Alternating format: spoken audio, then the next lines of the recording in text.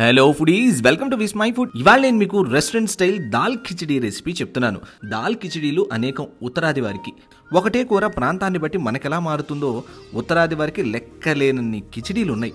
నేను చెప్పబోతున్నది restaurant style khichdi వెల్లుల్లి గుబాళింపుతో ఎంత బాగుంటుందో ఎంతో ఎమ్మీగా ఉంటుంది ఈ దాల్ కిచడీ రెసిపీ ఇది బ్యాచిలర్స్కి బిగినర్స్కి చెప్పలేనంత హెల్ప్ చేస్తుంది. ఇంకా బద్దకం డేస్లో ఎంత మేల్ చేస్తుందో సూపర్ హిట్ అయిపోతుంది ఈ రెసిపీ లెట్ స్టార్ట్ ముందుగా అరకప్పు బియ్యం అరకప్పు పెసరపప్పు రెండు కనీసం గంట సేపు అయినా నానబెట్టాలి. అప్పుడే అన్నం పప్పు మెత్తగా ఉడికిపోతుంది. రెస్టారెంట్ స్టైల్ దాల్ కిచడీకి పప్పు బియ్యం సమానంగా ఉండాలి ఏ కొలతకు చేసుకున్నా. గంటసేపు నానబెట్టినటువంటి ఈ బియ్యం పప్పు రెండు కుక్కర్లో వేసుకోండి. ఇందులోనే కొంచెం ఉప్పు పసుపు ఒకటికి మూడు నీరు పోసుకోండి. నిజానికి ఐదు ఆరు దాకా కూడా నీరు అవసరం అవుతుంది కానీ అంత నీరు ఒకేసారి పోసేస్తే కుక్కర్లోంచి ఎసరు కారిపోతుంది. కాబట్టి సగం నీరు మాత్రం ముందుగా పోసేసుకుంటున్నాం. ఇంకా ఇందులోనే అర టీ స్పూన్ నెయ్యి వేసి కుక్కర్ మూత పెట్టి మీడియం ఫ్లేమ్ మీద నాలుగైదు విజిల్స్ రానివ్వండి. చూడండి నాలుగైదు విజిల్స్కి అన్నం మెత్తగా ఉడికిపోయింది కానీ కాస్త పలుకుగా ఉంది. రెస్టారెంట్స్లో ఎప్పుడు కూడా ముందుగానే అన్నాన్ని పప్పుని కలిపి ఇలా వండి ఉంచుకుంటారు. ఆర్డర్ రాగానే కస్టమర్స్ రిక్వెస్ట్ మేరకు మెతుకు మెతుగ్గానా లేదా గుజ్జుగా ఉండాలా అనేది కన్సిస్టెన్సీని అడ్జస్ట్ చేసి సర్వ్ చేస్తారు. సో మీరు ఇంట్లో చేసుకుంటున్నారు కాబట్టి మీకు తగినట్లుగా ముందుగానే అడ్జస్ట్ చేసేసుకోవచ్చు. టెక్స్చర్ని నేను రెస్టారెంట్ స్టైల్ అన్నాను కాబట్టి వారు ఎలా చేస్తారో ఆ తీరుని ఎక్స్ప్లెయిన్ చేస్తున్నాను. ఇప్పుడు కడాయిలో మూడు టేబుల్ స్పూన్ల నూనె రెండు టేబుల్ స్పూన్ల నెయ్యి వేడి చేసుకోండి. నచ్చితే అచ్చంగా నెయ్యితోనే తాలింపు పెట్టుకుంటే ఇహ అల్టిమేటే వేడెక్కినటువంటి నూనెలో అర టీ స్పూన్ జీలకర్ర రెండు పచ్చిమిర్చిని చీరినటువంటివి ఓ టేబుల్ స్పూన్ వెల్లుల్లి తరుగు అర టీ స్పూన్ అల్లం తరుగు కొంచెం ఇంగువ వేసి వేపండి. తాలింపు ఎర్రగా వేగాలి. అంటే వెల్లుల్లి కాస్త మెత్తబడాలన్నమాట. అప్పుడు ఇందులో ఓ ఉల్లిపాయ తరుగు వేసి ఉల్లిపాయ మెత్తబడి ఖచ్చితంగా గోల్డెన్ బ్రౌన్ కలర్లోకి వచ్చేంత వరకు వేపుకోవాలి. ఉల్లిపాయ లైట్ గోల్డెన్ బ్రౌన్ కలర్లోకి మారుతుంటుంది అంచుల వెంట. అప్పుడు ఇందులో ఓ పెద్ద టొమాటో సన్నని తరుగు వేసి టొమాటో గుజ్జుగా అయ్యేంత వరకు వేపండి. టొమాటో ముక్కలపైన స్కిన్ సెపరేట్ అయ్యాక ఇంకా ఇందులో పావు టీ స్పూన్ పసుపు అర టీ స్పూన్ కారం అర టీ స్పూన్ వేపిన జీలకర్ర పొడి ఓ టీ స్పూన్ ధనియాల పొడి వేసి కారాలు మాడకుండా వేపండి. కారాలు వేగి నూనె పైకి తేలుతూ ఉంటుంది. అప్పుడు ఇందులో ఉడికించుకున్నటువంటి పప్పు అన్నం వేసేసుకోండి.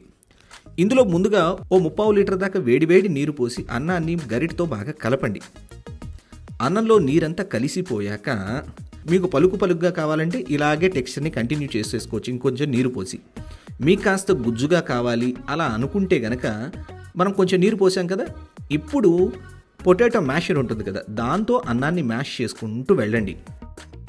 నాకు కిచిడి అంటే కాస్త గుజ్జుగానే ఉండడం ఇష్టం కాబట్టి నేను మ్యాష్ చేస్తున్నాను. మీరు ముందుగానే నీరంతా పోసేశారంటే మీకు మ్యాషర్కి అన్నం దొరకదు చాలా సమయం పడుతుంది అన్నం మ్యాష్ అవ్వడానికని గుర్తుంచుకోండి. చూడండి నేను సెవెన్ ఫిఫ్టీ ఎంఎల్ వేడి నీరు పోసి మ్యాష్ చేశాను కదా ఇదిగో ఈ టెక్స్చర్లోకి రావాలి. ఇది పర్ఫెక్ట్ టెక్స్చర్. ఇప్పుడు ఇందులో రుచికి సరిపడా ఉప్పు కాసింత కొత్తిమీర వేసి బాగా కలపండి. తర్వాత మిగిలిన నీరు అంటే ఇంకొక సెవెన్ ఫిఫ్టీ ఎంఎల్ వేడి వేడి నీరు పోసి అడుగు పట్టకుండా బాగా కలిపి నాలుగైదు నిమిషాల పాటు దగ్గర పరచండి. అప్పుడు పర్ఫెక్ట్ టెక్స్చర్లోకి వస్తుంది. చూడండి ఈ జారు ఉండాలి. ఈ జారు మీద అయితేనే పర్ఫెక్ట్గా ఉంటుంది. మీరు ఇంతకంటే చిక్కబరిస్తే చల్లారాక మరీ గట్టిగా రాగి ముద్దలా అయిపోతుంది. ఆ టెక్స్చర్ అంత రుచిగా అనిపించదు మీకు.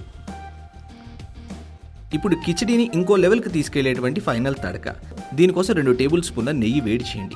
ఇందులో రెండు ఎండుమిర్చి వేసుకోండి. అలాగే ఒకటి పావు టేబుల్ స్పూన్ల దాకా వెల్లుల్లి తరుగు వేసుకోవాలి. వెల్లుల్లి కాస్త ఎక్కువగా ఉంటేనే భలే ఫ్లేవర్ఫుల్గా ఉంటుంది. వెల్లుల్లి రంగు మారడం మొదలవుతుంది. అప్పుడు ఇందులో పావు టీ స్పూన్ ఇంగువ వేసి వేపండి. ఇంగువ కూడా వేగి వెల్లుల్లి ఎర్రబడ్డాక స్టవ్ ఆపేసేయండి. ఆ వెంటనే కాశ్మీరీ కారం వేసి పొంగించండి.